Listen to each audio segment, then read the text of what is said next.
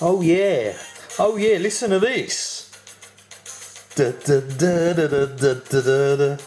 Now listen to that is the soundtrack to Demons. This tells you a lot. uh, firstly, I apologise. I'm going to take the piss out of this film a little bit, uh, even though I love it and it is cheesy. It's good fun. Uh, so, to all the sad troll individuals, I'm rating disabled this video. So, fuck you. Uh, right. Okay. Um, let, us talk about Demons, shall we? Picked it up today. Um, it's the first steelbook by um, the Arrow releases, which you all know, especially you Brits in the UK. You know, all the, likes of all, all the famous sort of directors uh, from the 80s and 70s and so forth, the Argentos and etc. And there's a whole big feast of them coming out, and um, to certain people, you know, they've just, I've seen videos where they just started off their Arrow releases, collecting them, and some where I'm starting to sort of help them out with trades and build them up. That's you, Trash Man. Um, I think six arrow releases is going to be enough for you in the post, so uh, I'll try and see if I can get that off at the end of this week if you're watching this video. Um, so this is Demons. Um, there is a Demons 2 which I'll show you in a moment, um, nowhere near as good. So this is Demons 1 and um, I drew this, do you like it? Hey! No, whoever whoever done this had a good bit of fun, good artist, you know. If I zoom in to the actual artwork, there's things going on all over the place. Like that one of the demons grabbing the girl, that one ripping a to rip a jaw out, demon in the background. And it all starts off because of this strange guy gives leaflets out saying going to this premiere of this party in this old abandoned uh, cinema which has been reopened, and then they all get trapped inside and one of them puts on the mask which infects them and they all turn into demons and they are la la la la lots of fun motorbikes cheesiness over the top pulsy sort of goo and it's just good fun you know it's from my childhood I had good fun fond memories watching this um, I know it probably won't be as good as back then but who gives a shit it was good fun, so I liked it. And um, yeah, I like this steelbook for what it is, something completely different. And as you can see from obviously the art view, a lot of fun. And if you can hear from the really bad music, cheesy. More cheesy than what's its crisps. But um, there you go. uh, what do you think, guys? It's a matte finish. There's no ratings, all that rubbish as they tend to be doing now. They're getting rid of, which is absolutely wicked. Um, and obviously, you've got the demon's words on the top, which um, again cheesy. Uh, now if we go to the back, because obviously it says Demons 2 with it, uh, we got more artwork. Now sadly Demons 2 I thought was um, real poo in the pants stuff. Um, it would creep my cheese. It wasn't really very good at all. Um, in fact it was pretty damn awful so um, I will never ever watch this film again. It was so bad. Uh, but really good artwork. Here we go. Look, look at the artwork. You see the, uh, the, the skull demons coming out of the floor and so forth. And it's pretty much everything you saw in the first movie, just not as good, in my opinion. Just not as good. Simple as that. Bad acting, all that business, um, and so forth. But um, it's nice to have that on the back. So when you got one and two, quite expensive steelbook. It cost me 25 quid because there's two movies in it, I'd be happy to have just spent 15 quid and got just Demons 1, but sadly they didn't do that. Hell, they didn't even put this on the brand new releases. You had to go and find this on the Blu-ray alphabetical section. Hmm. That's what they thought of this movie. Uh, so, nice gold writing for Demons 1 and 2 on the side there. Um, there's your director's name, Liberto. I was going to say Savage, it's Butters, if I can say that in the arrow release there which are brilliant releases by the way. Um, I love the packaging. Uh, sadly, this one isn't packaged like the other ones with all the, the free posters, and obviously you can't have different artwork, four different artworks per movie, sadly, through a sort of a window or a booklet with it. Um, but you, are just paying for the steelbook, and it only comes in steelbook size rather than the other way. So um, there's Demons Disc 2. Um, and here's the artwork. Here's the weirdo, the weirdo who goes around um, giving the um, sort of uh, flyers out to people to advertise them. And then that girl saying, "Cool, you're sexy. Look at you. I love your your metal on your chin and your eye. Your eye's missing. Oh, you sexy man." I don't think she's really that happy. I think that's a load of bollocks. But there you go. Uh, artwork from inside the steelbook itself. There we are pretty okay. Um, not believable, but it's okay. I said it didn't come with a book, but yeah, it does have a book. I tell a lie. I'm sorry, guys. It has a book to twickle your twickles.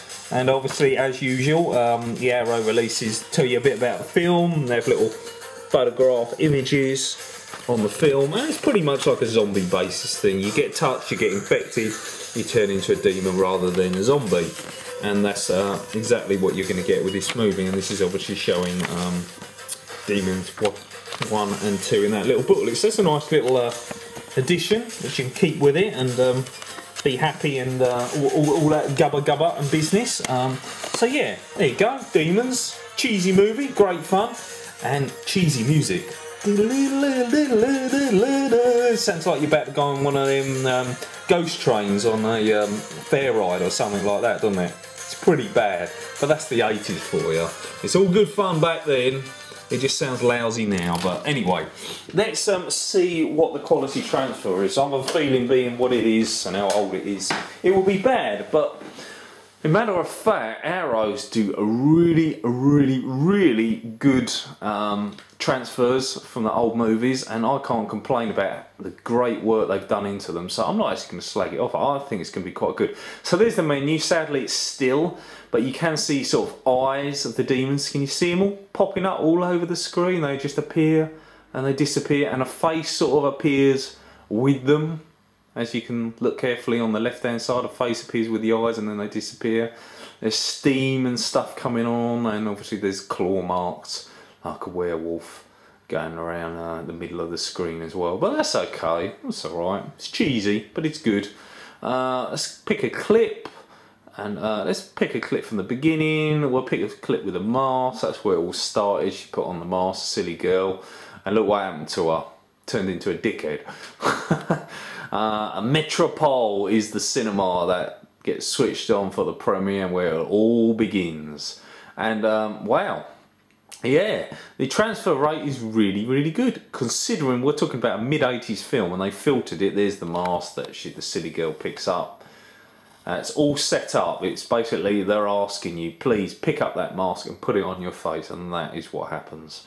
It's all set up and it's all done. It's all loving and nice and pretty right now, but it all changes in a bit. A bit of leg for you there, guys. A little bit leg. Still legal and uh, a girl with a lot, a lot of hair, I have to say.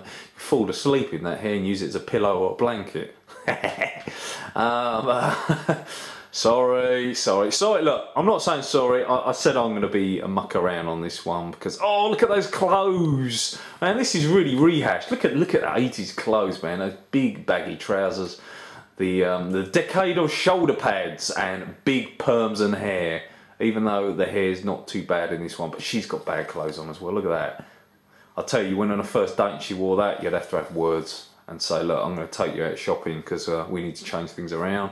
Um, oh, where was this made? Can someone leave me a comment, tell me where this was actually filmed without me having to look it up myself? Is it is it filmed in, well, I don't know where it's filmed. I'm asking you guys. Maybe you'll know and you can shout it out for me.